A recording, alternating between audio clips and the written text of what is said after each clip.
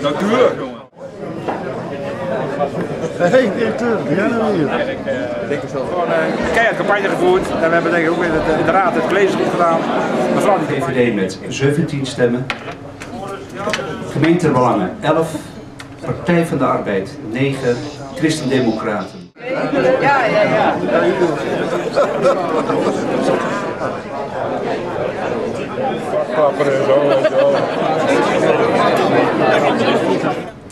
D66 65.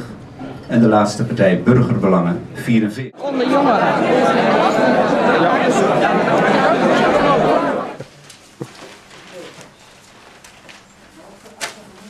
Partij van de Arbeid 4333.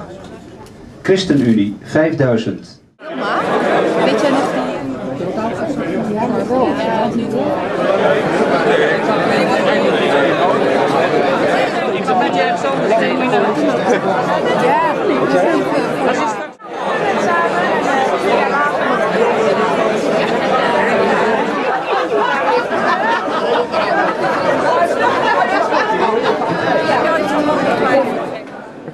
Hij is voor ons intranet. Voor ons intranet. Ja, dan hadden ze de lijstdeur van de VVD in de stadsdeel er niet op staan. Je hebt de lijstjes, dan moet hem dat deel. Maar werden. Wil ik ook weten. uitslag zal, eh, zal zijn. En die ga ik u nu voorlezen. En ik maak een vergelijking met de vorige gemeenteraadsverkiezingen en met die van nu. En ik begin bij burgerbelangen. Die hebben één zetel.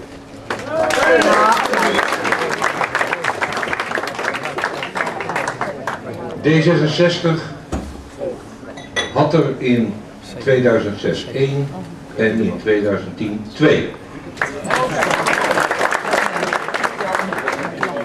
GroenLinks, volgens ene, had er in 2006 drie en in 2010 wederom drie.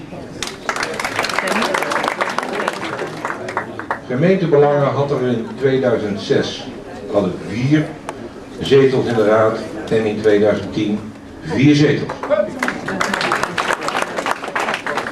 De VVD gaat van vijf naar zes. De SGP hadden er, een, eh, in de verkiezingen van 2006 zes zetels en in 2010 wederom zes zetels. De ChristenUnie had er in 2006 zes en in 2010 wederom zes. De Partij van de Arbeid had in 2006 zes zetels en in 2010 vier zetels. En het CDA had in 2006 acht zetels en in 2010 zeven zetels. Tot zover de voorlopige uitslag van de gemeenteraadsverkiezingen in de gemeente Ede.